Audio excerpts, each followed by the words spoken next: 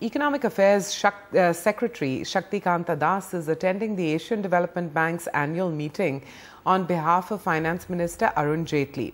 Uh, Shaktikanta Das talked to NDTV's Vishnu Som on how far the economy has recovered post demonetization and whether there was room to handle the exercise more efficiently. So, uh, demonetization, uh, you were among the people at the helm of affairs when this in, enormous exercise uh, took place. Um, and, and one of the points where there has been a little bit of criticism is transparency. The number, the amount of money which actually came back into the system.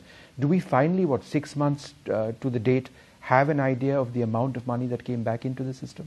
You see, I'll explain uh, why, the, uh, why it is taking time to get the amount of money.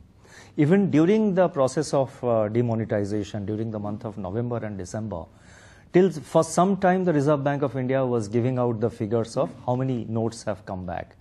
Then during discussion between the Finance Ministry and Reserve Bank of India, together we were able to, we identified certain areas where there were possible double countings happening. That is because, you know, the currency, the old notes were moving from the branches, bank branches to their regional offices and then to the currency chests and then to the Reserve Bank of India. So the, we identified some points where double counting was happening. So after that, a decision was taken that it would be desirable to count the notes physically to do a proper, thorough physical verification of the notes received.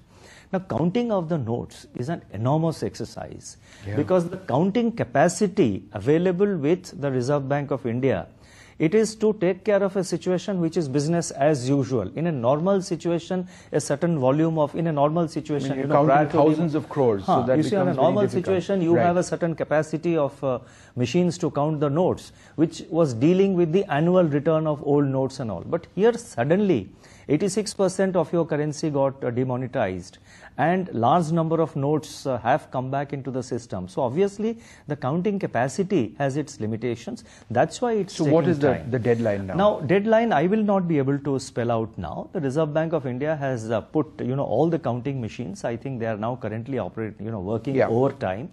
Normally they would work in a so another shift. few months.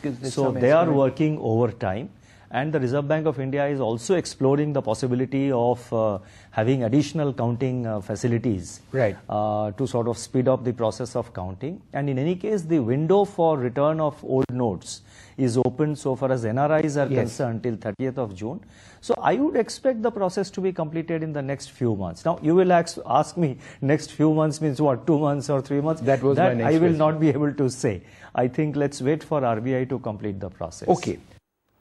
Okay, you can um, listen to that entire interview tomorrow on NDTV Profit.